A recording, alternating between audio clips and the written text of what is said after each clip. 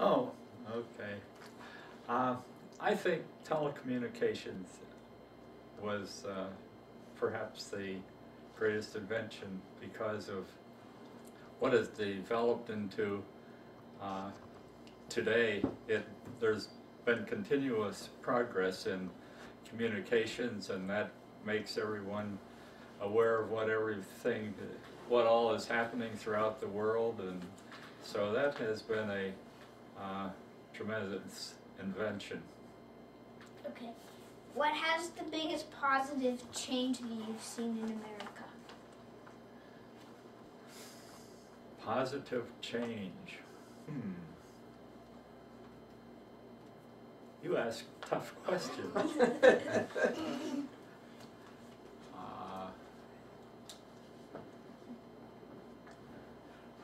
well, I, uh, there again, I think it's communications among the people.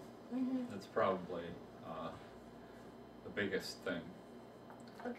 And transportation, communication and transportation, I think. Yes. Being able to get around from one place to another.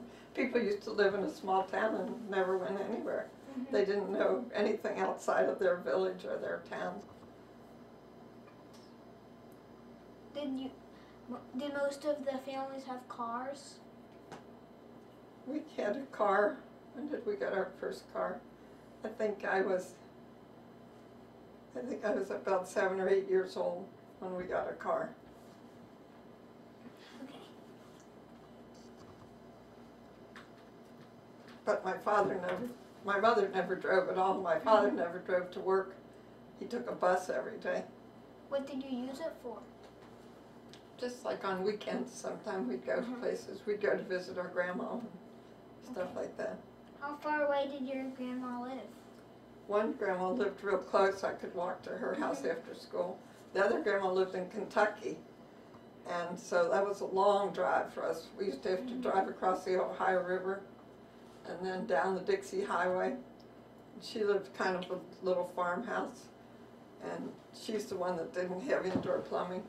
She had an outhouse, what we were Oh. talking about the other day. Yes. And she had at her kitchen sink, she didn't have faucets or anything like that. She had a pump.